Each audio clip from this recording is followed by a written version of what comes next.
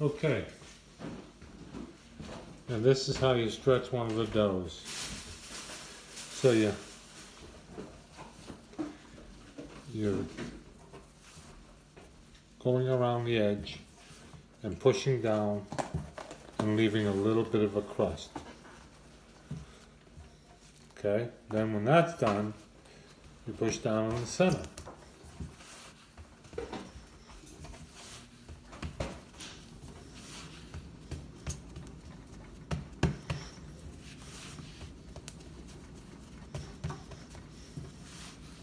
This dough I just took out of the freezer, fridge, sorry, out of the fridge. It's cold.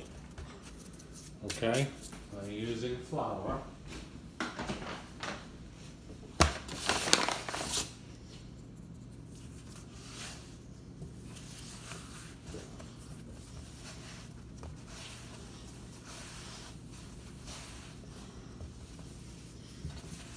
Okay, and then I'm stretching it.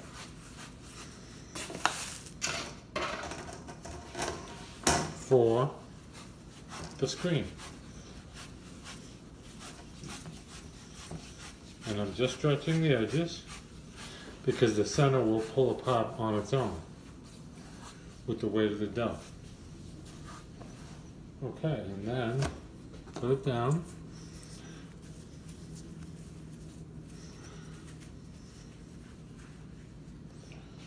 Okay.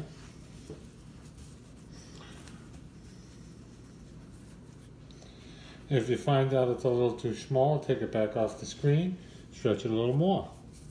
If it's too big, then you push it in. So there we go. It's all done. Then I'll show you what it looks like when we're done.